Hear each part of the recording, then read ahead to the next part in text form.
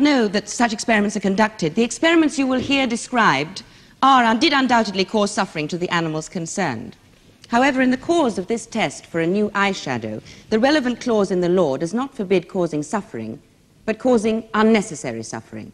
And that is what you have to decide. Was the suffering unnecessary? Now, the prosecution, who are bringing this case, that is to say the movement for the protection of laboratory animals, say that it was unnecessary, and we shall bring evidence to that effect. I call Sarah Stevens. Dr. William Ranford and James Meetham, directors of a cosmetics firm, are charged by the Movement for the Protection of Laboratory Animals with conspiring to cause unnecessary suffering to experimental animals in their laboratories. A mistake in a Home Office license has allowed this prosecution to be brought as a test case. The jury in this trial has been selected from members of the public, whose names appear on the electoral register and who are eligible for jury service. Is your full name Sarah Stevens? And do you live at flat 9A, 42 Marlowe's Gardens, London? And do you work as a chemist at Animal Free Cosmetics of London? Yes, that is right. Mrs. Stevens, were you present as a visitor at the laboratories of Vanguard Cosmetics of Finley near Fulchester on October the 14th, 1974? I was.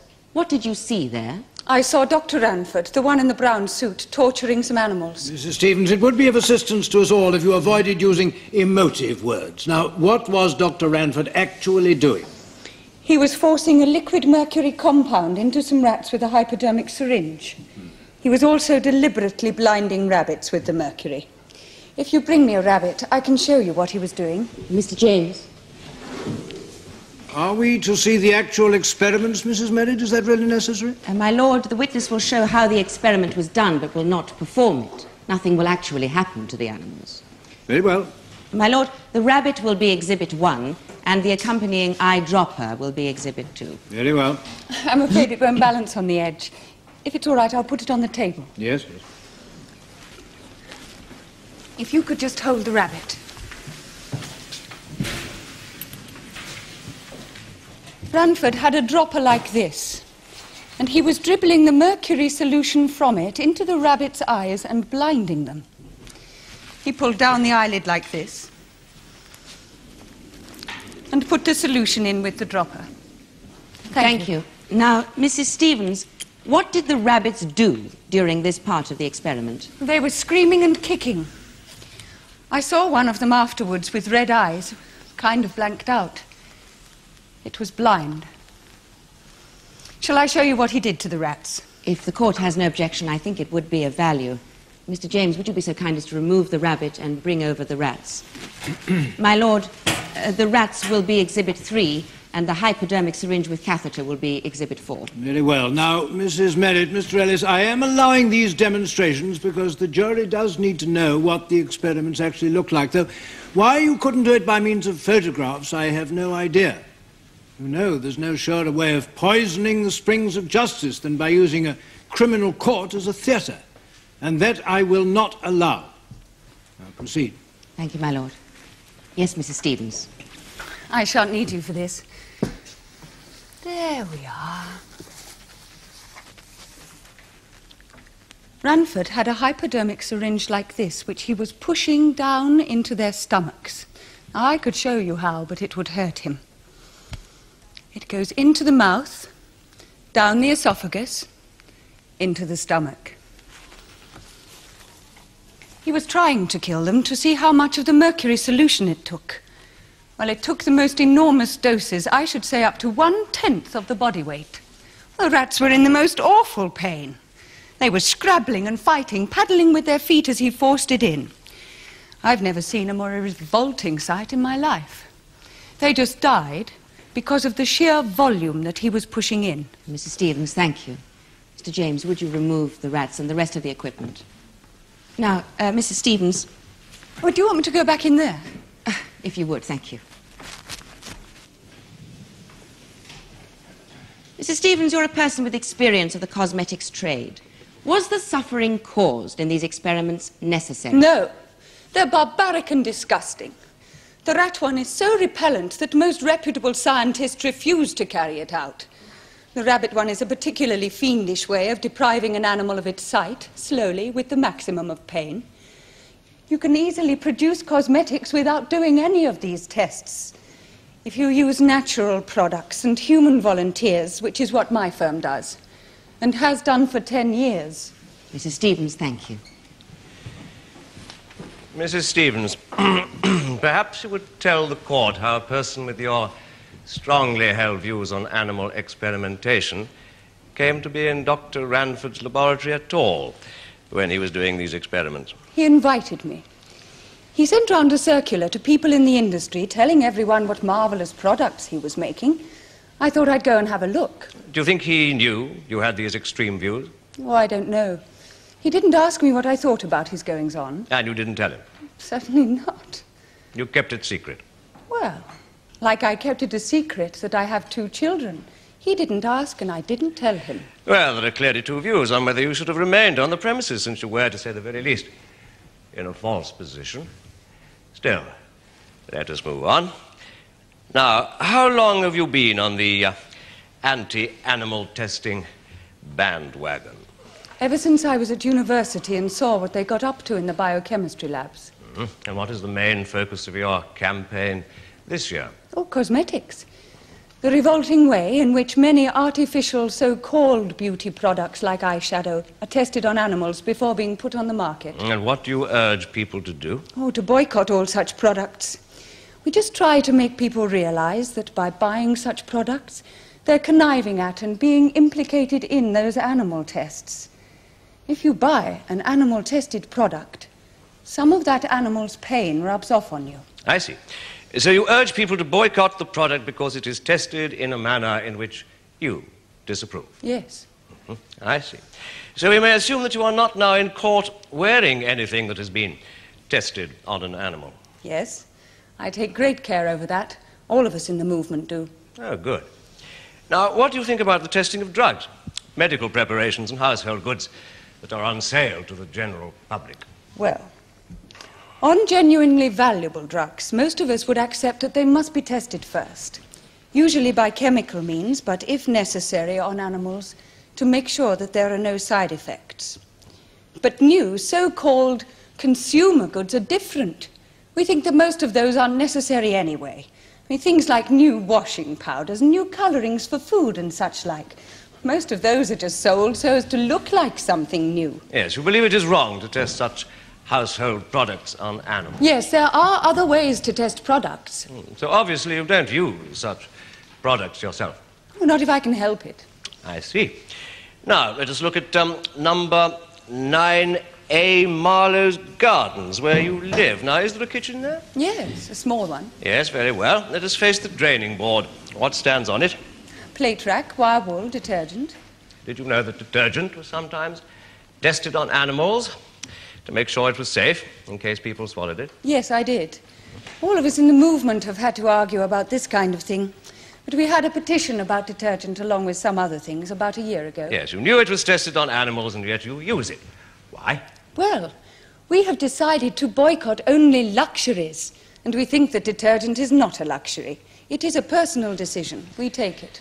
I see. Eyeshadow is a luxury, detergent is not. Well, that may seem to some a rather Fine distinction? Well, you just have to draw the line somewhere, that's all. Indeed. Do you use um, floor polish? Not usually. I sometimes shine up the floor when I have people in. I use it then. There is no real substitute. Now then, food wrapping paper. Do you boycott that? No, I use that. You can hardly buy stuff that's not wrapped in artificial wrapping paper of some kind. Did you know that floor polish and wrapping paper were sometimes tested on animals? Yes, I did. It is just one of the compromises that one has to make if one wishes to run a home properly. Yeah. Now, when you feed your children, do you offer them strawberry jam with artificial colorants in it? No. Go to the health food shop. I think it tastes nicer. Anyway, it is a luxury, so I would boycott it. I see. So detergent and floor polish and wrapping paper are, in the view of your movement, essentials, and a strawberry jam and eyeshadow are luxuries. Is that right? More or less. Mm. And the reason you are prosecuting Dr. Ranford rather than the people who may have tested your own detergent, floor polish, and wrapping paper is that Dr. Ranford was helping to produce a luxury, and they, in their, your view, were not. More or less. Yes. But like I said, You just have to draw the line somewhere, and that is where I draw it. Yes. Mrs. Stevens, tell me one thing. In an area which is so full of shifting sands, so to speak, if you can claim that floor polish is essential, can't my clients legitimately claim that eyeshadow is essential? No. I think it's just ludicrous to call eyeshadow an essential. Any more ludicrous than calling floor polish an essential? I'm not saying that the distinction is easy to make. It is just a decision that we all have to come to one way or another. That's all.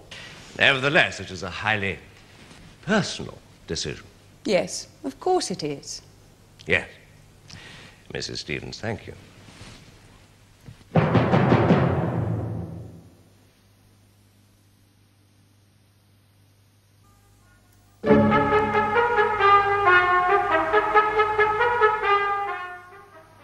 Dr. McKernan, you are a general medical practitioner and also General Secretary of the Movement for the Protection of Laboratory Animals, who is bringing this prosecution.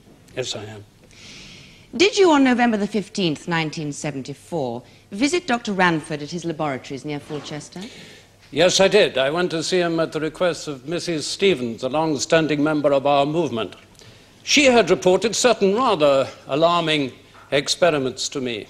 As a medical practitioner, I was able to talk to Dr. Ranford on a common professional basis.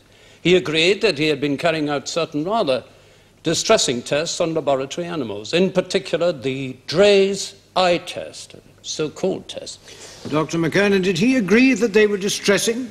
And if so, distressing to whom? To the animals or to the observers of the experiments? But he agreed they had caused pain, my lord. Yes, I see. Thank you. Now, he also agreed after some humming and hawing that he'd been carrying out the test known as the LD50 on rats. What is that? Ah, the LD50. May I say at once how pleased I am to be the first to expose this uh, experiment before a British court. The LD50, my lord, is Uh, a test Dr. which McKernan, would you please speak so that the jury can hear you? I'm so sorry. I do apologize.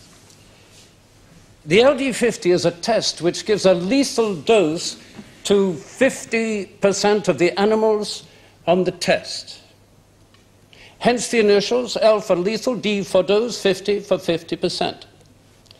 Now, the LD50 is a test to establish what quantity of a substance, be it eyeshadow or arsenic or even water, kills. Because, of course, even water can kill if you give enough of it.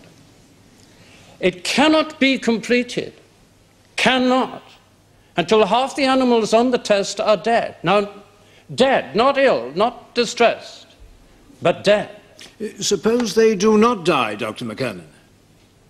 My lord, uh, if I may say so, you have touched upon the heart of the matter with great judiciousness. The answer is you simply go on until they do die. I see. Thank you. Now, why must they be dead? Why on earth do those people who carry out these experiments go for the kill? In fact, what they need to find out is how much of the eyeshadow, for example, might make someone ill. A child, perhaps, who takes some by accident from a bathroom shower. Now, one moment, Dr. McKernan. Uh, do children, in fact, become ill through swallowing eyeshadow? Rarely, my lord. Perfume and uh, nail varnish remover are normally the products implicated. Yeah. So the LD50 is, in fact, a test which provides information we do not need to know. If I may quote from Food and Cosmetic Toxicology, Volume 8, 1978, page 214. The author says, the widespread use of the LD50 is unfortunate, unfortunate, and goes on to say,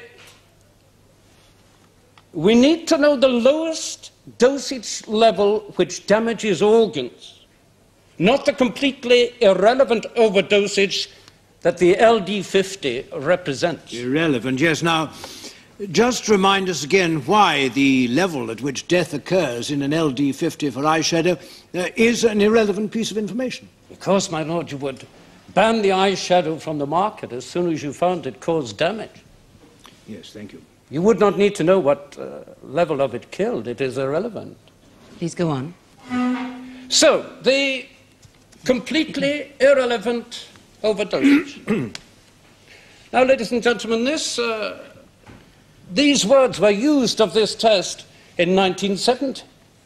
Yet in 1974, Dr. Ranford is still discovered to be using it.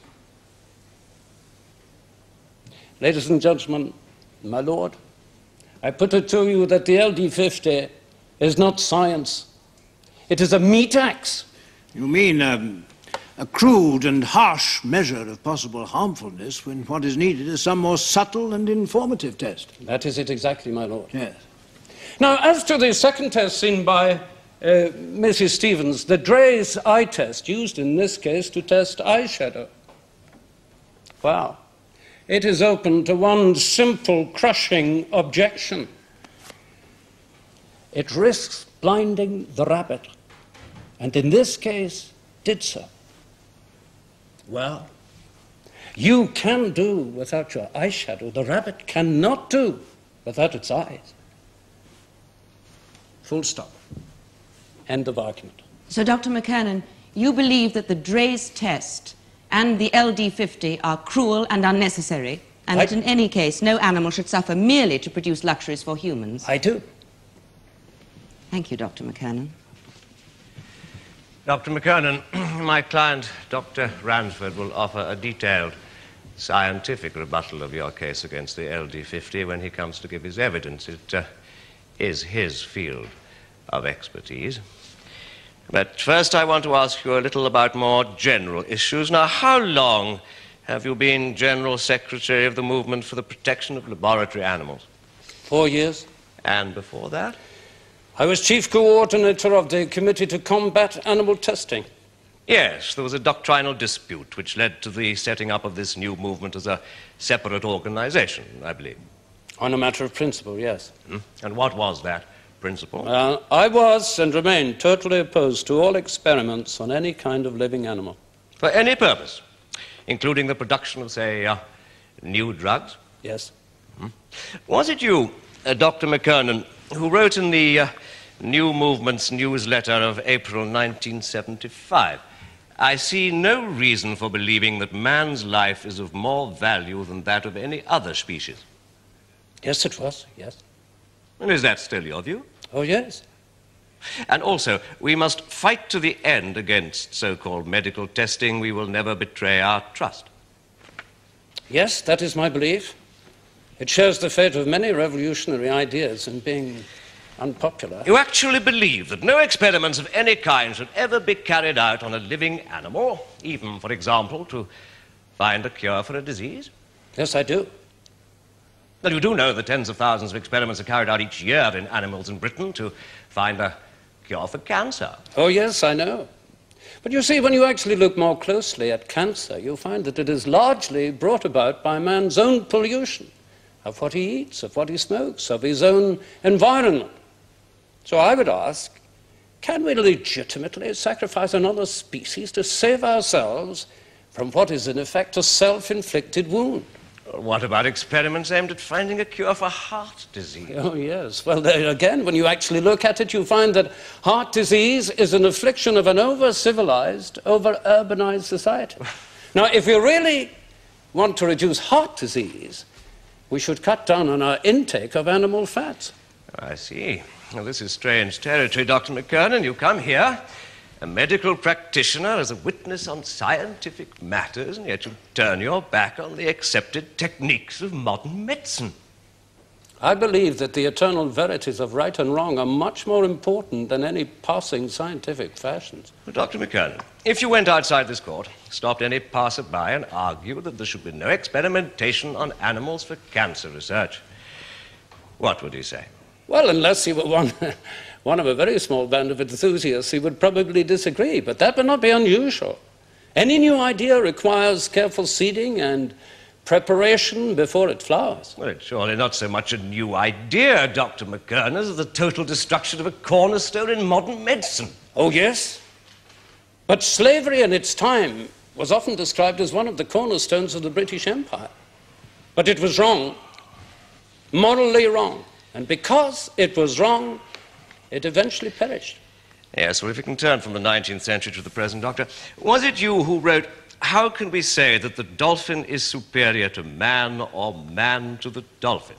Yes, it was.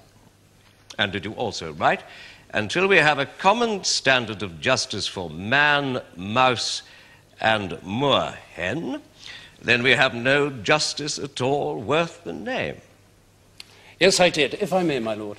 You see, justice is not a matter of barristers or wigs or gowns, it is a principle. And as such, it cannot be appropriated by a single species. It is for all or for none. Well, did you also write? Say what you like about the so called creepy crawlies. For me, the gastropod is a model of ecological sanity. If you see me one day doffing my hat at the garden rubbish dump, you will know that I am paying my respects to a passing snail. Now, is that you? No. That is one of our wilder contributors. You get uh, many strange people in any animal protection movement. I should have thought you would have recognized it wasn't my style. What about until biologists treat bacteria with the respect due to another living species, they cannot expect that bacteria will cooperate. Now, is that one of yours? Oh, indeed, yes. If you look at the evidence from the East on such things as firewalking, there is a strong suggestion that even quite small organisms, conceivably those on the soles of our feet, respond startlingly to mental forces. Now, there is an area that I would seek to know more about. Dr. McKernan, let me put one thing to you quite bluntly. If your admitted views on the ethics of testing are as eccentric as you agree they are, what is your scientific opinion of the LD50 worth? You don't need to be a scientist to know that the LD50 is a barbarity. All you need is a spark of humanity.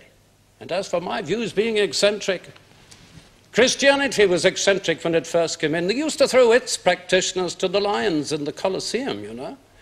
Now, if you have arguments rather than ill judged attempts at ridicule, let us hear them. Why, in fact, do you think that man is a master race entitled to torture and degrade animals as he will? Where is the logic in it? Dr. McKernan, I think most people would say it was common sense that a oh. snail's life was less valuable than a human being's. Common sense? It was common sense once that men were born free men and slaves. It was common sense that children should work down coal mines. It was common sense that unmarried mothers should be hounded out of society. Common sense. Where's your humanity? Uh, Dr. McKernan, it is for counsel to ask questions. My lord. I have nothing further, my lord. Uh, Dr. McKernan, just to clear up one or two points, it is your personal view that all testing on animals should cease. On living animals, yes. Uh, but you're not now seeking to convince the jury of that, but of some less sweeping proposal, are you not? Yes. What is it? Ah. That the testing of this particular eyeshadow ingredient in this way was unnecessary. Why? Yes, because while animal testing on certain products can only be avoided by major changes in our society, animal testing on eyeshadow can easily be avoided either by using naturally produced makeup, tested on humans, or preferably, in my view, though this is only personal, by using none at all. Thank you, Dr. McKernan. My lord, that is the case for the prosecution.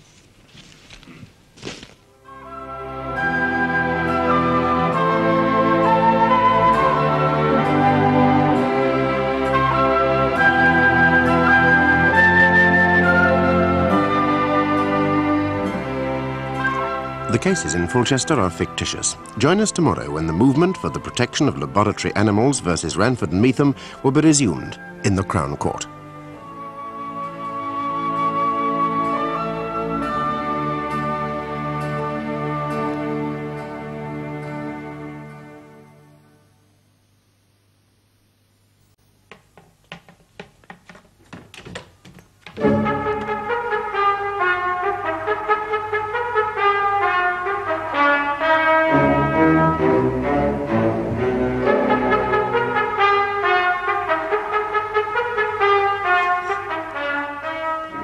Dr. William Ranford and James Meetham, directors of a cosmetics firm, are charged by the Movement for the Protection of Laboratory Animals with conspiring to cause unnecessary suffering to experimental animals in their laboratories.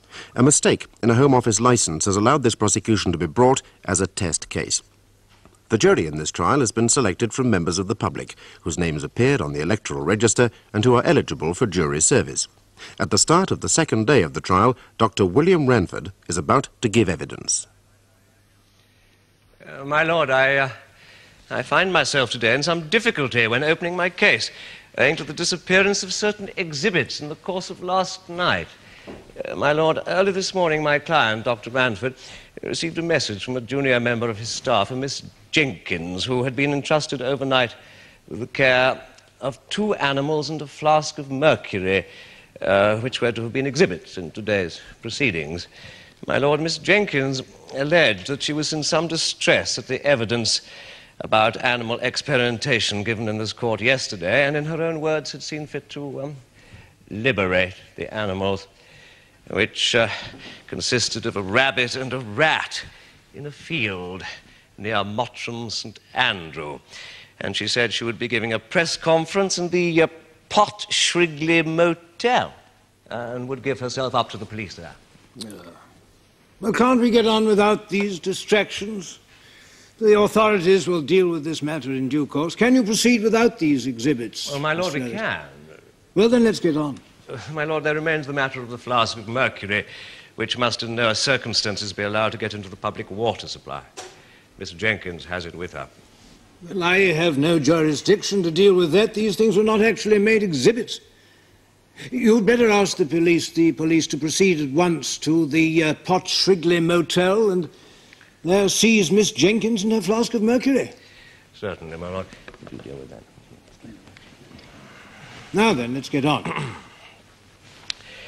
Uh, Dr. Ranford, do you challenge the account of your experiments given to this court by Mrs. Stevens? Yes. I would say that her feelings for animals led her to distort what she saw beyond all recognition. To take just one example, only one rabbit was blinded, and in one eye only, and it was quickly destroyed. What Mrs. Stevens saw on that particular occasion was a bactericidal compound containing mercury passing through a standard Draize screening test. Now, the test did, in fact, detect a substance which was irritant to the cornea of the eye. Now, you'll appreciate that the whole point of such screening tests is, in fact, to detect such substances. There was also the LD50. Dr. Ranford, if I may intervene there for some explanations. Now, a bactericidal compound is what? In lay terms, it's a mixture of substances designed to kill bacteria. And the cornea, The horny, transparent covering of the eyeball. thank you, and a screening test. For the sake of the jury, Dr. Ranford. A screening test is a test to detect and eliminate substances harmful to humans before a product is made generally available. If I may, Mr. Ellis, it is a, a precautionary check. Yes, it's a term widely used around about the time of the disastrous thalidomide affair, which you may recall. Thank you. There have been other alarms, but they haven't received quite so much publicity. Phenacetin and Eraldin. The side effects can be very nasty. Yes. Now, Dr. Ranford, there has been some criticism in this courtroom of the particular screening test you used. Now, what was that? Yes, well, I'd like to take the so-called LD50 first. Now, as we've heard, L stands for lethal, D for dose, and 50 for 50%. This is a test generally carried out on rats to see how much of a substance kills half a batch of test animals, usually 12. And we take half in order to iron out any individual peculiarities that any particular animal might have, like being particularly sensitive to a substance. The idea being that if you took fewer than 12, you might get a false impression of how poisonous the substance was because you were using too few animals. Yes. I see, thank you. Well, there has been criticism of this test along the lines suggested by Dr. McKernan, uh, but it has the approval of the Home Office in this country, and internationally it has the say so of the World Health Organization, and it's considered obligatory in some cases by officials of the Food and Drug Administration in the United States where this particular product was going. In fact, that was why we were doing it, although we would probably also have done it for the British market.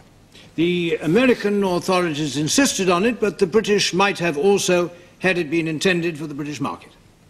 Yes, they certainly approve of its being used, but we would probably also have done it to be on the safe side. I see, probably, but not certainly. Hmm? Yes, go on. Well, the point I'm driving at is this, my lord, that if you convict Mr. Meetham and myself on this charge, you're going to have to dismantle an entire network of governmental and intergovernmental safety procedures. Still, that's your business. Now, Dr. Ranford, it is the jury who will convict or acquit you, not I. I'm sorry, my lord. I'd like to return to the LD50, if I may, as it is central to the whole system. Now, around the world today, there are all sorts of scientists operating, good, bad, and indifferent. Some very indifferent. Each tends to assess things in his own way. They all have their own private theories about how much of what causes what and why. Now, some people think that drowsiness on the part of an animal is a sure sign of a liver complaint. Someone else thinks it's bound to be a minor defect of the central nervous system. Nobody knows what is right. But death is death. Knowing for sure the precise amount of a substance that kills a particular species of animal is a secure point of reference. Proof against any error of interpretation by anyone. That is the great value of the LD50. Thank you. Now then, Dr. Ranford, let us turn to the eye test on the rabbits. Ah, yes, the Draize. Well, this has also been round the world, although it started off in the United States for reasons which I should be glad to explain. In fact, when it became known that I was to be charged with conducting this test, I had several volunteers from the United States to offer to give evidence in my favor. In fact, I had hoped they might be allowed as witnesses. Your lord, Honor, I- many years ago when I was a resident of Kentucky. No, sit down, sir. Sit down. This court is not a theatre. Dr. Ranford, I take an extremely poor view of anybody who tries to stage things in my court. There must be no more of this. Well, I, I'm sorry, my lord, that was not intentional. The fact is that during the 1930s, uh, before eye irritation tests such as the one I was conducting were introduced, uh, people in the United States, like Mr. Vandenberg, were blinded by using shampoos based on detergents of a type known as cationic. I expect you know that shampoos are based on detergents. Well, these detergents proved unexpectedly damaging to the eye. Now, the eye test that I was conducting, the rabbit eye test, known as the Draize after its inventor, is used as a safety screen to ensure that products such as eye makeup and shampoo are unlikely to cause damage of this kind. Dr. Ranford, is it usual for the eye test to cause pain to the experimental animal? But uh, it all depends what it is you're testing. If it is in fact harmless, then probably not. But if there is a risk to humans, then it may also hurt the animal. In fact, one of the compounds I was testing when Mrs. Stevens came in on her little expedition did in fact contain an ingredient which was capable of causing damage to the eye. Well, fortunately, it was caught by the test. But if it had not been, we might have had other cases of blindness on our hands. I mean, we're, we're dealing with a very difficult compound. I make no excuses for preventing such disasters, but I, I must say I do get very irritated at having to waste day after day explaining the basic rules of preventive medicine to laymen totally unfamiliar with the scientific method. Dr. Ranford, I'm not sure whether you're aware of it, but you give the impression of being extremely condescending to the jury. If there's anything you find you can't explain simply, please ask my advice. I will, my lord. Dr. Ranford, no doubt some members of the jury may be asking themselves whether human volunteers could not have been used in experiments of this kind. Not when the substance was potentially toxic, as it was in this case. Let us have that quite clear. You are fully aware, you say, that the eyeshadow ingredient you were testing might, in certain circumstances, cause harm.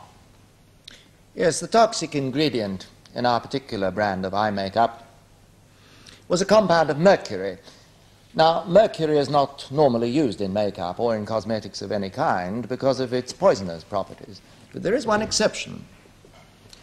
The human skin acts as host to countless millions of bacteria of a type known as Pseudomonas. Now, would you like me to spell that? No, thank you, Dr. Ranford. Proceed. The Pseudomonas also live in the intestine, the sinus, and the feces. They also infect dogs. Now, if you get them in your eye, and the body's natural defenses for some reason fail, then you can be blinded.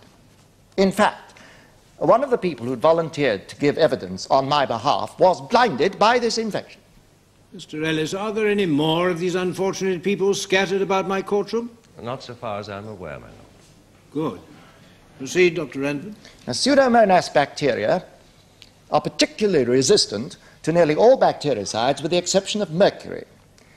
Now, it is for this reason that mercury compounds are specifically permitted in eye makeup in the United States and in the common market as bacteria killers. Now, it is these mercury compounds that we were testing. Yes.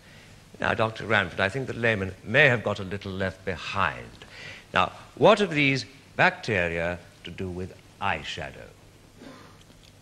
Eyeshadow, when applied to the eyelid, is a very fertile breeding ground for these bacteria. I see. So you are saying that the animals, or some of them, did suffer pain, but this was in the cause of weeding out a potentially dangerous compound. Yes. Thank you, Dr. Ranford.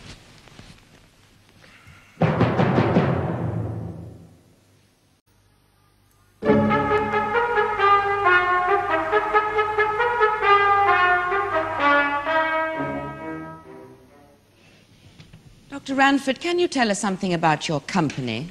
How large is it? We employ 30 people, including myself and Mr. Meetham. Last year we had a turnover of around £400,000.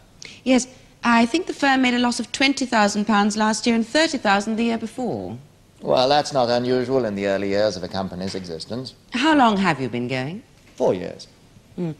Now, your last annual report says you employed 40 people, not 30. How is that? Well, we've made economies. I've become chief chemist as well as managing director, Mr. Meetham, the marketing manager, has also taken more on his shoulders. Well, certainly round the corner. Which corner is that? The corner involved in setting up a new firm on one's own. Cosmetic supplying is a highly competitive business. Now, where had you and Mr. Meetham worked together before? At the British branch of AFSID in New York, the International Drugs House. I was assistant chief chemist and he was assistant marketing manager. And you broke away to set up in business on your own? Yes. You've made substantial losses ever since? We shall be in the black before long. Yes, you must have needed a large American order badly. We would have survived without it. Now, how was it, do you say, that Mrs. Stevens came to be in your laboratory? She was posing as a potential client. How did she know the time and place at which to carry out this pose, as you call it? How did she know that you were conducting these experiments? Because we'd informed the British cosmetics industry of the new products that we'd successfully developed for the American market. I see. You wrote round to every British cosmetics firm you could think of, trying desperately to interest them in your new eyeshadow in order to prop up your failing concern. The facts are that Mr. Meetham undertook an extensive promotion in this country. But surely you knew that Mrs. Stevens worked for a firm that wouldn't have touched your kind of cosmetic with a barge pole. Well, if I'd known she'd held these eccentric views, I should not have invited her in. I see you invited her. I thought you said that she posed as a client. Yes, it was an unfortunate oversight. Indeed. Now tell me, Dr. Ranford, how or why did the mercury blind the rabbit during the experiment? The animal suffered severe corneal damage and hemorrhage of the conjunctiva. It was probably blind. We destroyed it. The blood vessels in the eye started bleeding. That is what hemorrhage of the conjunctiva means, is it not? Well, they're actually minor capillaries, if you want to be accurate. And how about the LD50? How did that kill the rats? The animals died when they ingested about one-tenth of their body weight of the substance. Oh, so the fatal dose for, say, a 10-ounce animal would be one ounce of the li liquid? Uh, roughly, yes. I must admit we were surprised it took so much. Mercury normally has early toxic effects. Yes.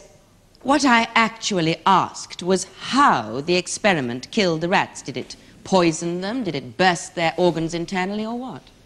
Well, there were traumatic failures of various kinds in the animals immediately prior to death stomach, heart, liver. You often get that. Yes, but could you not say in simple language if what you gave them poisoned them or burst their internal organs?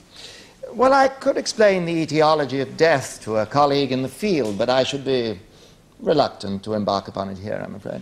Dr. Ranford, counsel is asking whether the, the general effect that killed the experimental animals was a bursting of various internal organs due to pressure, a fairly slow process, or a relatively swift poisoning of the system, such as might arise from, say, um, arsenic or cyanide. Even laymen like myself and the jury can appreciate that distinction. Well, in general, there was no poisoning of the system. The amounts of actual mercury that we used were extremely small, and in consequence, the amount of solution that we had to administer in order to induce death were very large.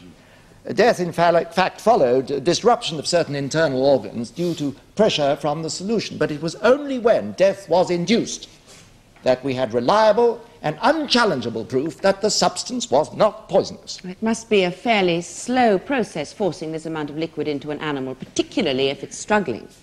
Well, nobody's claiming it's a particularly pleasant thing to watch, but it has to be done. Could you please explain once more, Dr. Ranford, if you were trying to assess the poisonousness or otherwise of this solution, why you didn't stop when it was clear that no poisoning effect was occurring? Because we were carrying out an internationally approved test, the LD50. And the purpose of that test is to find out what dose kills half the animals. Well, obviously, then you go on using successive batches of 12 animals until half the animals in any one batch are dead. But I must put it to you, Dr. Ranford, that irrespective of its international approval, this test was clearly brutal and wasteful. You went on taking batch after batch of animals, increasing the dose each time until half the animals in the final test were dead. Now, clearly, you should have stopped when it became apparent that you were dealing with a non poisonous compound. But it was only when the test was completed that we could be certain that the compound was non poisonous. And I must repeat my view that the usefulness of the LD50 as an international criterion outweighs any objections to performing it. Very well. Now, if there were 12 animals in this final test, six of them must have died in this extremely painful fashion. Well, the actual pain would have differed according to the activity of the central nervous system, internal trauma, shock, so on, other Dr. factors. Ranford, I can see that as a scientific man you are injured by this prosecution, but you must answer questions in a way that the jury can understand. Now, six, that is to say, half the animals died in this way, did they? Yes. In some pain? Yes.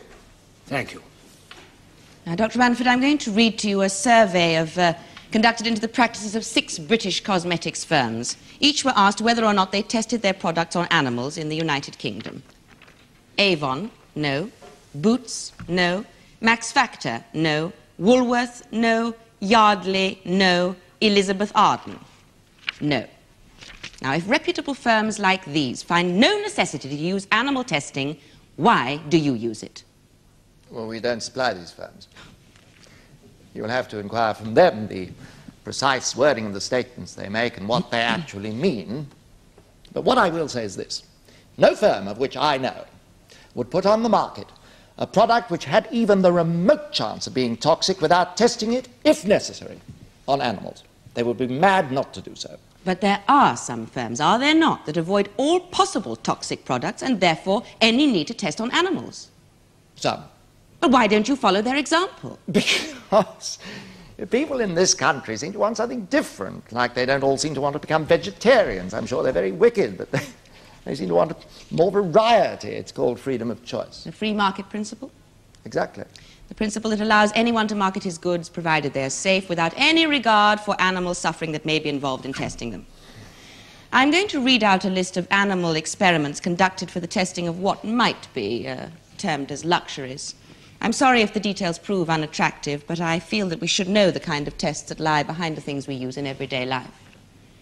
This is an experiment taken from a journal of cosmetic toxicology, an experiment to test a new kind of food wrapping paper. With three daily doses of the substance to rats, internal bleeding was observed. With dogs, a high daily dose caused frequent vomiting and loss of appetite. Eye irritation tests on rabbits produced extensive swelling and bleeding. The entire cornea was opaque. That test was done to give the world not just wrapping paper, but a new wrapping paper. Do you justify these things?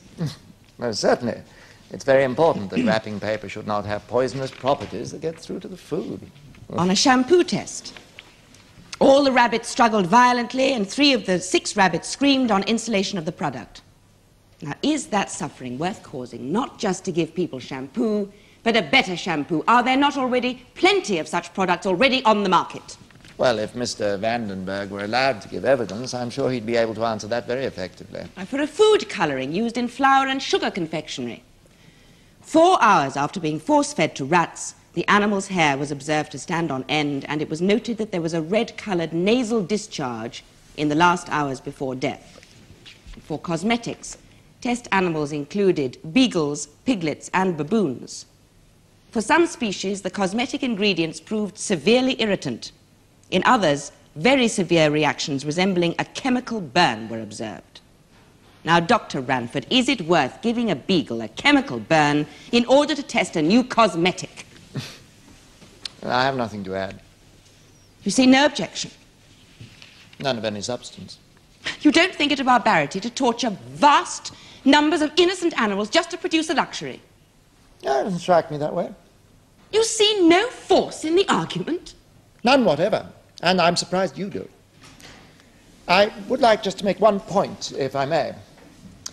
Look, I don't know how many of you registered many of the points that came out in the courtroom yesterday, but most of you probably owe your lives to experiments on animals. You buy the products that the experiments make safe. You elect the governments that encourage the free market and have allowed experiments on live animals for years. Yet, when Mrs. Stevens sees these experiments and complains to the police about them, the whole place goes up in flames. Oh, did you know they were using that stuff on animals? Oh, poor little things. Oh, animals. Animals? I never knew that. How cruel. That's what I mean by trying to explain things to a jury of laymen. How on earth do you think we test them? You can't do most of these experiments in a test tube. They don't work. It's animals or nothing.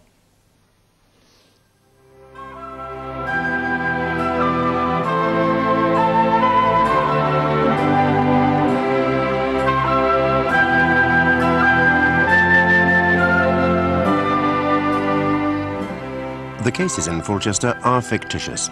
Join us tomorrow when the movement for the protection of laboratory animals versus Ranford and Meetham will be concluded in the Crown Court.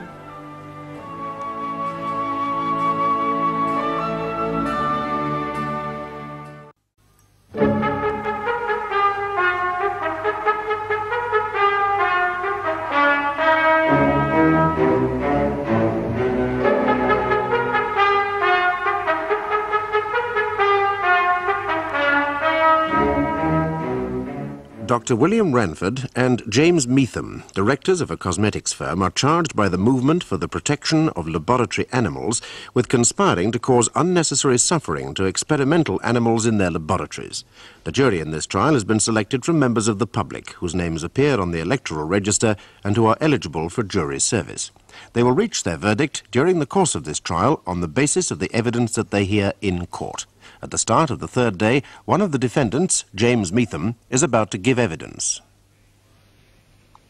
You are James Meetham of the Close Fitzjames Avenue near Fulchester, and you are Marketing Director of Vanguard Cosmetics Limited. That is correct.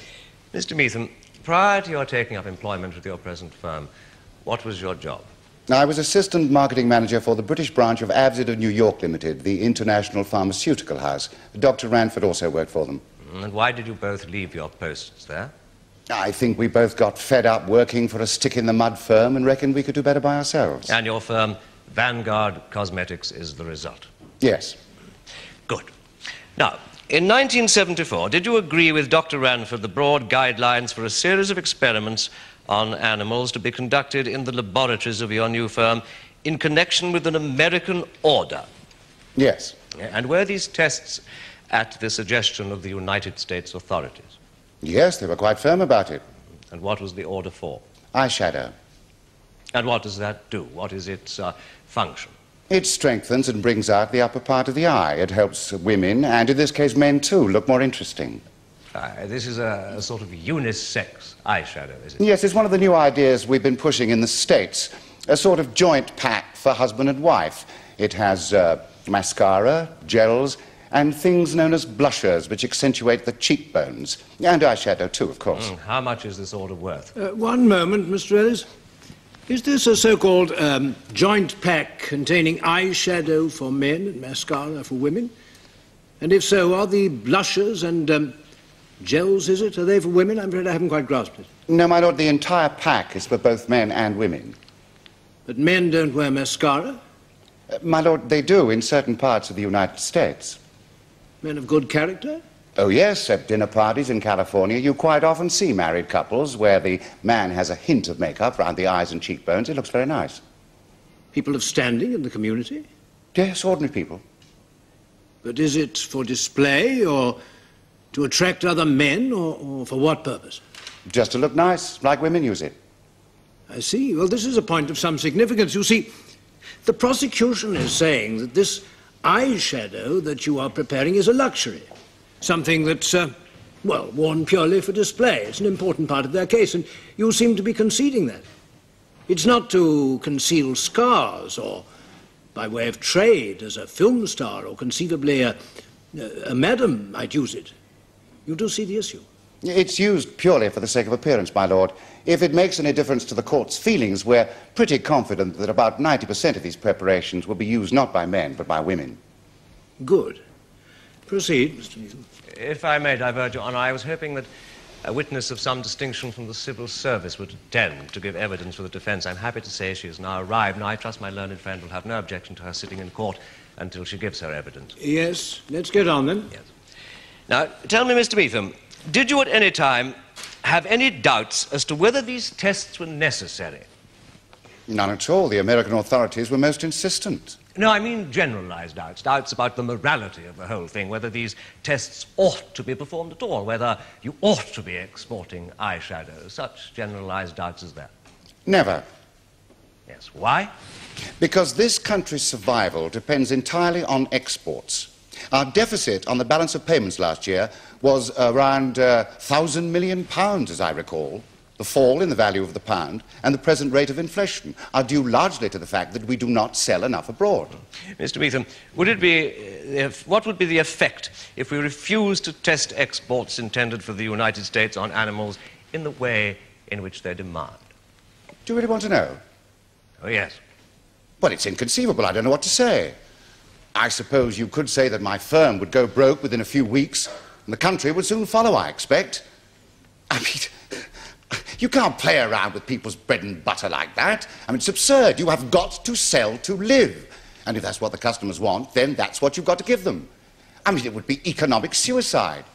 I'm sorry, I just not considered anything so outlandish. Mr. Meetham, there's no need to be sorry for placing before the jury the full economic consequences of implementing the program set out by the prosecution. There can be no case for false sentimentality in this court. Uh, if I could just say something, uh, you might make it sound as if I don't like animals. Well, I do. I'm very fond of them. I run my dogs in the park every day, or get my manservant to. It's just that you have to balance one thing against another. Yes, indeed, Mr. Meetham. Now, you say you are fond of animals. Now, when you heard Mrs. Stevens describing the rabbit being blinded in the test in your laboratories, what did you feel? I felt sooner a rabbit than a repetition of what happened to Mr. Vandenberg, I'm afraid. Yes. Thank you. Would you please uh, wait there? Mr. Meetham, uh, I think the view you're putting forward is that the economic interests of this country must be paramount over the welfare of animals. Where they conflict, yes. In effect, the needs of this country for foreign exchange must come first, and animal welfare must be subservient to that necessity. Yes. Have you ever been to Spain? Often we sell a lot there. Ever seen a bullfight? Yes. Was there a big crowd? Yes. Why would that be? I suppose people like to see a kind of gladiatorial display with an animal being hunted. Yes. Would you introduce bullfighting over here? No. Why? It's not traditional. That's not the reason, is it? It's part of it. Oh, Mr. Meetham, you'd be hounded from morning to night if you brought bullfighting here, wouldn't you? I'm afraid I don't see where this is leading. Mr. Meetham, the half digested economic theories that you're offering the court would lead in logic to the setting up of game reserves where wealthy foreigners could come and ill-treat British animals to their heart's content, provided they paid. I mean, you could have Arabs machine gunning stags in Scotland, a little seal clubbing in Cumbria, and bulls being tormented by visiting American psychopaths in London. I mean, the foreign exchange would come rolling in. It's a ridiculous argument. Yours or mine? Yours. Why? Why? Well, People would never stand for it. How right you are, but that's where your argument leads. Now, do you know what a pit pony is? My lord, I hate to cut short a debate on economic theory, but within the hour, my next witness has to set out for the Palace of Westminster for an urgent debate. My lord, I shan't be long, with your permission. Very well. Mr. Meetham, do you know what a pit pony is? Yes, it's a pony that was used down coal mines. I think some of them still are. Do you know why they were taken out of use? I don't know. I expect they got in new machines. Oh, yes, they did. But there were also indignant protests at the savage way they were treated. Would you have opposed those protests? I don't know. Would you have pointed to the British coal export figures and said, no one cares more for pit ponies than I do. My manservant throws them buns every day, but I'm afraid the export figures must come first. I don't think my personal lifestyle has anything to do with this. Why are you in business, Mr. Meetham? To boost the export figures or to make money? Well, partly to make money, of course. Then perhaps you could spare us the cant about the balance of payments. Now, what does eyeshadow do for someone who wears it? Makes them more interesting, better to look at. Does it help your eyes communicate a subtle, inviting new world? Where's that from? From the advertising brochure you send round to the industry, including Mrs. Stevens' firm. Is it true? Well, within the limits of poetic license. Have you blended the mystery of smoke-deepened aquamarine with a hint of sheeny jade to produce spring's most alluring new colour, lambent, limpid green? I see nothing to sneer at in imaginative copywriting. Do the women who wear your preparations become, as you suggest here, remote, detached, aware? And are the men endowed with, if I have it right, a youthful confidence, an assured, almost arrogant poise, a masterful, arresting elegance, a certainty that they're no longer just one more man in a grey flannel suit? If you want to sell rather than sit on your bum in a lawyer's office, you have to get people interested in what you're putting on the market. Mr. Meetham, there are ways of making that point with more courtesy. Is it worth torturing an innocent rabbit to make some narcissistic American woman remote, detached, aware? If you ask the people who work at my factory near Fulchester whether they would sooner be out of a job or making eyeshadow for narcissistic American women, I know what they would say. I'm fed up with the way the idle professional classes of this country patronize and sneer at the businessmen who keep the place going. the copywriters who write that advertising, the people who rely on my sales efforts have nothing to do with the torture of innocent animals, and nor do I. No, you just designed the experiments that pump them full of liquid mercury. We've been into that. Mrs. Uh, Mrs. Merritt, I think you've made your point. If you've nothing else to deal with, perhaps we could get on to the next witness. I have no further questions, my lord. I call Dr. Kathleen Weatherby.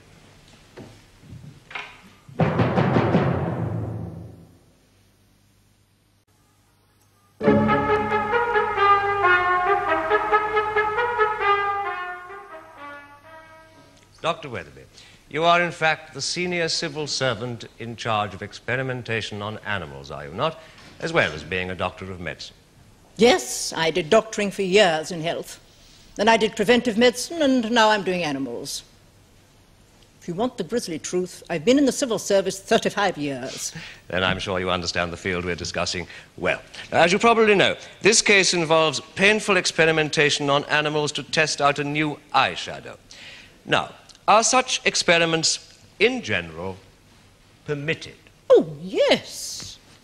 The principal act in this field authorizes experiments to advance knowledge. These experiments would certainly have advanced our knowledge of how mercury compounds react in a cosmetic context. And I might add that Dr. Ranford's experiments in this case had the prior approval of Sir Ian Warburton of the University of Wessex and another distinguished referee Lord Full James, and Mr. Da Costa, who worked with us as an inspector for 20 years, vetted them beforehand. There's nothing hole in the corner about them. So, in fact, but for uh, an irregularity in the wording of the license, Dr. Ranford would never have come before this or any other court. Well, that is unquestionably true. If I may, Mr. Ellis. Now, members of the jury, You will recall Mrs. Merritt explaining at the beginning of this trial that experiments of this kind are indeed normally conducted under a license issued by the Home Secretary under the Cruelty to Animals Act of 1876, and that where such licenses are in existence, these experiments are perfectly lawful. Now, a license was issued in this case, but as a result of an error in preparation, it was found to be invalid, and therefore these experiments are not covered by it. Thank you, Mr. Dr. Weatherby, would you tell the court why you have volunteered to come as a witness in this case? Well, I really just want to emphasize that Dr. Ranford has done nothing which is not being done every month by dozens of reputable scientists. It's most unfair to single him out just because of this slip up over the license. If you want to reform the law, the proper way to do it is through Parliament. You make the point that a conviction in this case would mean not only accusing Dr. Ranford of inhumanity, uh, but of challenging the judgment of two distinguished scientists and an inspector. Something not to be done lightly. Yes. I mean, it seems to me that these people bringing this prosecution are saying one of two things.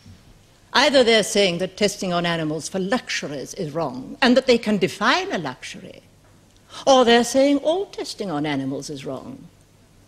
Well, if they're saying the first, of course, they're right up a gum tree because it is absolutely impossible to define a luxury. Is cabbage a luxury? Orange juice? Television? I mean, you can live on bread and water. So that's luxuries. But if they are saying that all testing is immoral, well, then they're not only wrong, but in my view, actively dangerous. Yes, and what do you think of the view expressed by Dr. McKernan that testing on animals is wrong because they are living beings with rights, just like humans? No. Well, I think that's pretty pernicious stuff.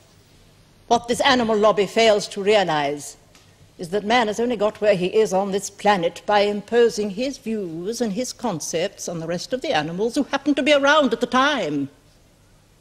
Well, you may think that I'm a bit of an old cynic, but I think man's values are a great deal more humane and merciful than animals. Course, it's a debatable point.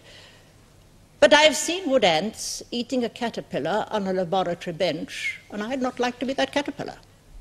I mean, it's not that animals are unmerciful, it simply is they have no concept of mercy. Once you start dressing animals up in white robes, you are placing them on a level with humans. And once you do that, you are putting a torpedo into the engine room of preventive medicine and medical research of all kinds. Yes, Dr. Weatherby, would you explain what you mean by preventive medicine? Well, rabies is the best example. As you know, you have to kill instantly, with whatever means you have, any beast that has rabies, and kill others to develop the vaccine. I once dropped a rock on a suspected rabid pariah dog in India and then bashed its head in with a club. Because I suppose today they would, they'd shoot it because it's less messy, but the principle is the same. Once you allow that an animal's life is any more than a convenience to man, you are on a slippery slope. And successive parliaments have, and in my view rightly, always refused to go down that slope. In other words, you are saying that the experiments performed at Fulchester by Dr. Ranford were in the mainstream of a governmentally approved system that has stood the test of time. Exactly. Thank you, Dr. Weatherby. Dr. Weatherby, do you read the uh, Journal of the Metropolitan Police? Oh, no longer, thank heavens. I used to have to. Yes, but uh, you do at any rate know of how police dogs sometimes get killed rather than refuse to leave their masters in the face of vicious criminals.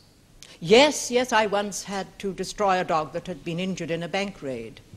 Dr. Weatherby, do you really understand at an emotional level how close the bond between man and animal can be? Well, I think emotion is often a very bad guide to policy. And people get so appallingly soppy about animals. Yes, but can you imagine how someone feels who has friends among animals when they hear that a dog is being choked to death with face cream? Oh, I don't think people make friends of animals in the same way as they do humans. You've never had any close animal friends? No. Have you ever seen a child cuddle a rabbit? Yes, with some trepidation about fleas and other parasites. So you can imagine how a child feels when he hears that rabbits are being used to test eyeshadow. Yes, And I can also imagine how a mother feels when she finds that one of her children has been blinded by a nasty infection called Canis tropicana, which can be caught from a pet dog. Rabies is not the only disease to be caught from animals, you know. Even children have to grow up and face the real world one day. Yes, Dr. Weatherby, do you think that 30 odd years of being in the civil service, of destroying wounded police dogs, smashing in the skulls of rabid dogs, observing experiments where ants eat caterpillars, all closeness to animal suffering, do you think those 30 years may have coarsened you, may have killed something in you, a capacity to respond as a person to animal suffering, perhaps? Well, I'd say I'm less sentimental about them than I was when I started. But you're not a hard hearted or insensitive person. I should hope not. Would you flinch at causing a rabbit suffering, severe suffering, if thereby a pint of women's perfume could be safely marketed? Well, I'm in something of a hurry, so I'll just say no. Uh, Dr. Weatherby, this is a criminal case, important to all parties concerned. Please, therefore, allow sufficient time to do justice to the issues. Would you not flinch? No. Suppose it were a question of a hundred or a thousand rabbits suffering so that a pint of perfume could be safely marketed. Well, I really can't answer that. I mean, it's so terribly hypothetical. And, well, anyway, if I may interject, I think we are a bit off the point. I mean, the point is that Dr. Ranford, to all intents and purposes, apart from this slip up about the license, was operating within a government approved system. And that is what matters. And the system is a sound one, you think? Pretty good, yes. How many experiments to test cosmetics were done on animals last year? Oh, I don't know. We don't break them down by category that way. How many LD50s are done each year? Well, that isn't reported either. How many experiments to test eyeshadow? We don't record that. I see. Tell me then, what is the level of certainty that the experiments conducted by Dr. Ranford had not been performed before in this country? Oh, pretty high. There are, of course, informal consultations. People know what their colleagues are working on. Even in rival firms? To an extent. I mean, papers are published from time to time. You see, so it is an eminently British, informal system of like professional minds meeting casually, perhaps at a conference, to discuss work of common interest. I'm sure you're going to make this sound nasty, but broadly, that is the system. Or, putting it differently, if Dr. Ranford bumps into the right man at a conference cocktail party, his animals may be saved an agonizing death because he discovers that the experiment has been performed before. But if his genial host steers him in the wrong direction, then Dr. Ranford's rats get pumped full of liquid mercury unnecessarily. I think Dr. Ranford would know what was going on in his own field. You're saying there is no watertight system to prevent unnecessary repetition, no general central public register of experiments, for example, but that, uh, in your view, informal contacts are sufficient? Yes. I see.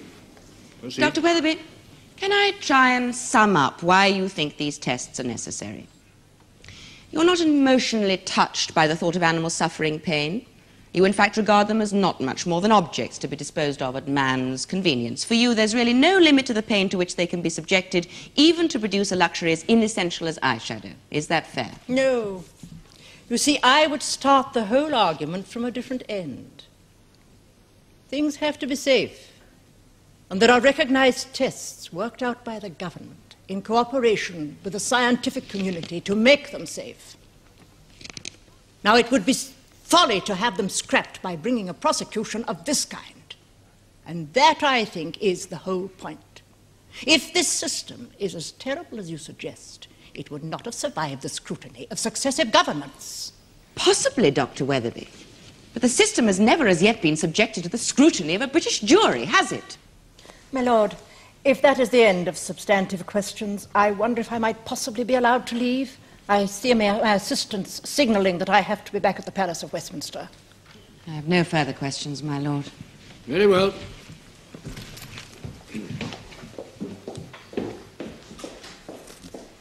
Now, I will repeat the important points. The accused are charged with conspiracy to do an act or series of acts which are prohibited under Section 1 of the Protection of Animals Act 1911. Now, that act makes it an offence to wantonly or unreasonably do any act which causes unnecessary suffering to any animal. Now, a conspiracy is simply an agreement by two or more persons.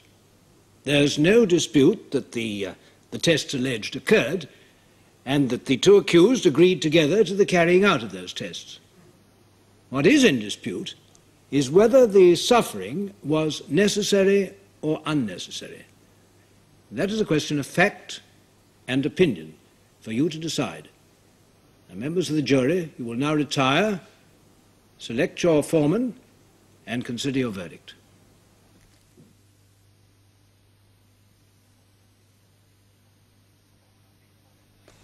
Would the foreman please stand? Now just answer the question yes or no. Have at least ten of you agreed upon your verdict? Yes. What is your verdict? Guilty or not guilty? Not guilty. Very well. Now, there will be an order that the defense costs be paid by the prosecution. I imagine those costs will be considerable, Mr. Ellis. Certainly several thousand pounds, my lord. Well, I'm afraid the movement for the protection of laboratory animals will have to pay. That's the penalty for launching a prosecution which the jury find to be ill conceived. You're both free to leave this court.